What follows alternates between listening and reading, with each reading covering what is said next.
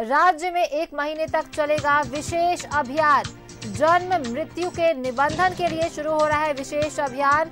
मंत्री रामेश्वर उराव करेंगे इस अभियान की शुरुआत। और देखिए, बड़ी खबर आपको रांची से बता रहे हैं। जहाँ अब आपको बता दें कि आज से राज्य में एक महीने तक विशेष अभियान चलाया जाएगा, जिसमें जन्म, मृत्यु के निबंधन के लिए ये विशेष अभियान शुरू किया गया है। मंत्री रामेश्वर उरांव इस अभियान की शुरुआत करेंगे।